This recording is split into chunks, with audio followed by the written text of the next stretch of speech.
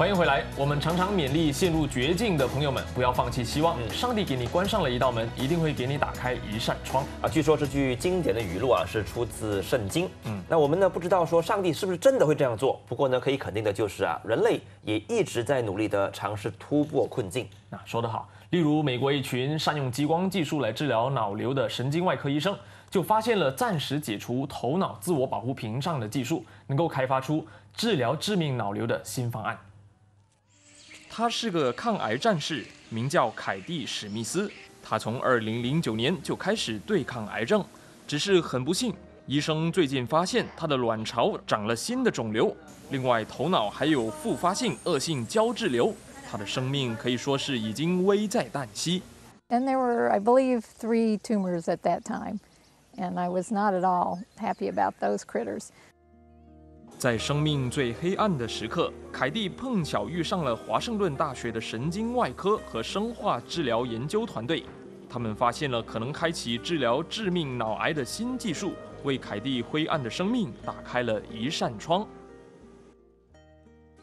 Kind of, kind of makes you smile when they say, "Oh, you're a good candidate for something new," and so got worked into that study or got worked into that. And it did work out beautifully. 原来人的大脑有一道天然的保卫墙，医学术语叫血脑屏障，它能防止病毒和外来物质透过血液入侵我们的大脑，当然也会阻碍治疗脑癌的药物进入人脑了，这就为脑癌的治疗造成了一定的困难。华盛顿大学的神经外科和生化治疗研究团队首次发现他们的激光治疗术。能够暂时解开血脑屏障，长达一个月的时间，这等于为脑癌治疗打开了一扇希望之窗。We were basically able to show that this blood-brain barrier is broken down for around four weeks after you do this laser therapy. So not only are you really killing the tumor, you're actually opening up a window of opportunity to deliver uh, uh, various drugs and chemicals and therapies that could otherwise not get there. 他们的研究已经进入第二阶段的临床试验，除了采用传统的激光手术来杀死脑瘤，还有微激光局部加热杀死脑瘤细胞的治疗方案。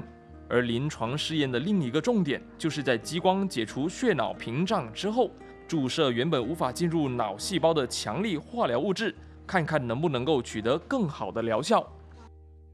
So I think what's really interesting is that the blood-brain barrier is a, a two-way street. That Uh, by breaking it down, you can get things into the brain, but also uh, by breaking it down, now things can go from your brain out into your circulation, to your peripheral system, which includes your immune system. 华盛顿大学的神经外科和生化治疗研究团队对于暂时解除血脑屏障的研究还处于试验的阶段，他们希望今年年尾能够发表正式的研究报告。